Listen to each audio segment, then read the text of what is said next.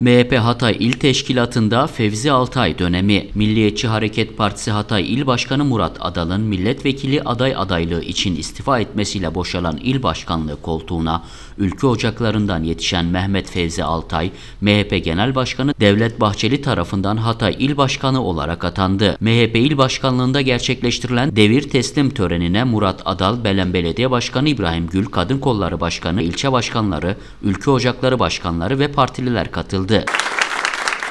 Belen Belediye Başkanı İbrahim Gül, MHP İl Başkanlığına atanan Fevzi Altay hocamızın yeni görevini kutluyorum. Bu görevini de alnının akıyla yapacaktır. Her zaman kendisiyle birlikteyiz dedi. Öncelikle ben Murat Adal Başkanıma e, süresi içerisinde vermiş olduğu emekten dolayı çok çok teşekkür ediyorum. Teşkilatım adına, şahsım adına.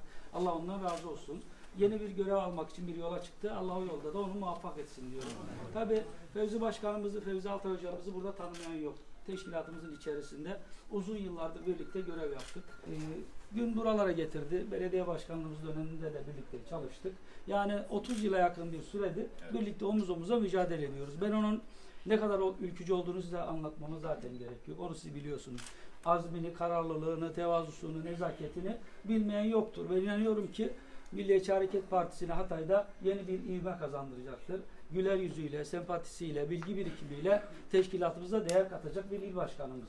Bu saatten sonra inşallah görev yapacaktır. Teşkilatımızın en uçuk, en küçük e, hatasında, eksiğinde bakıyoruz ki ağız birliği yapmış ülkücü düşmanları Türk milliyetçileri düşmanları maalesef teşkilatımıza saldırmakta.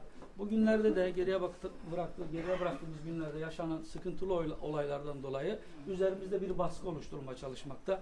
Ama biz hiç kimseye pabuç bırakmayız. Ülkücü hareketi kimseye ezdirdemeyiz. Yeni Başkan Mehmet Fevzi Altay ise Rabbimin izniyle MHP Hatay İl binasında devir teslim törenini gerçekleştirerek Genel Başkanımız Devlet Bahçeli Beyefendi'nin takdir ve tensipleriyle görevlendirildiğim il başkanlığı bayrağını teslim aldık. Öncelikle görevi kendisinden devraldığım Murat Adal Başkanıma teşekkür ediyorum diye konuştu. 20-25 yıldır beraber siyaset yaptığımız, kendisinden çok şey öğrendiğim ve hala da öğrenmeye devam ettiğim İbrahim Başkan'a ben huzurlarınıza teşekkür etmek istiyorum.